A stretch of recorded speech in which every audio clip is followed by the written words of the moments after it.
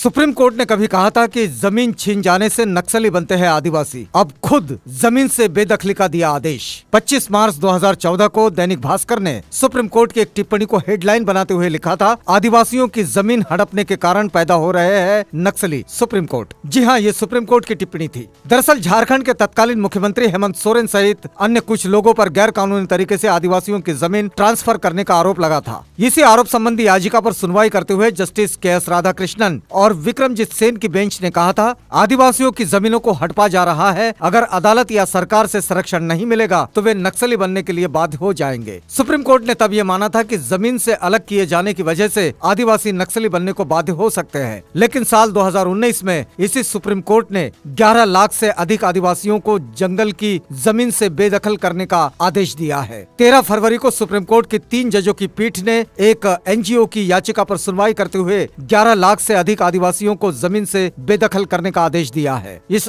आदेश की वजह से करीब 20 राज्यों के आदिवासियों और जंगल में रहने वाले अन्य लोग प्रभावित होंगे। सुप्रीम कोर्ट का ये फैसला इस वजह से भी आया क्योंकि केंद्र सरकार आदिवासियों और वनवासियों के अधिकारों की रक्षा के लिए बने एक कानून का बचाव नहीं कर सकी। एनजीओ की तरफ़ से जो याचिका दायर की गई थी, उसमें ये मांग की गई थी कि वे सभी जिनके पारंपरिक वन भूमि पर दावे कानून के तहत खारिज हो जाते हैं, उन्हें राज्य सरकारों द्वारा निष्कासित कर दिया जाना चाहिए। आसान भाषा में कहे तो आदिवासियों से उन जमीनों का सबूत मांगा गया, जिस पर वे रहते हैं। कानून दस्तावेज़ की भाषा न समझने वाले आदिवासी कहाँ से सबूत देंगे? अदालत में मोदी सरकार पर उन आदिवासियों के प्रतिनिधित्व की ज़िम्मेदारी थी, जिसे निभाने में सरकार असफल साबित हुई। केंद्र सरकार को अपने सुप्रीम कोर्ट में अपने ही कानून के समर्थन में दलील पेश करनी थी, जो सरकार नहीं कर पाई। सरकार को जिस कानून का बचाव करना था, वो कानून है वन अधिकार कानून, जिसे संसद ने वर्ष 2006 में पारित किया था। इस कानून को फॉरेस्ट एक्ट 2006 कहा जाता है। इस कानून के मुताबिक इन जंगलों में किसी भी गतिविधि को तब तक नहीं किया जाना चाहिए जब तक कि व्यक्ति और समुदाय के दावे का निपटारा नहीं हो जाता। साथ ही आदिवासी और वनवासियों के लिए काम करने वाली एक संस्था, अभियान फॉर सर्वाइवल एंड डिग्निटी का आरोप है की सुनवाई के समय केंद्र सरकार का वकील कोर्ट में मौजूद ही नहीं था। इस मामले में केंद्र सरकार की भूमिका बेहद गैर जिम्मेदाराना दोषपूर्ण और संदिग्ध नज़र आती है। क्या सरकार सरकार ने ही अपने आदिवासी विरोधी कारपोरेट नीतियों को विस्तार देने के लिए ऐसा किया? सुप्रीम कोर्ट ये बात अच्छे से जानते हैं कि आदिवासियों का विस्थापन भारतीय संविधान की पांचवी अनुसूची के प्रावधानों का खुल्लम खुल्ला उल्लंघन है, जिसके तहत आदिवासियों को उनकी पुश्तैनी ज़मीन और प्राकृतिक संसाधनों पर मालिकाना अधिकारों की गारंटी दी गई है।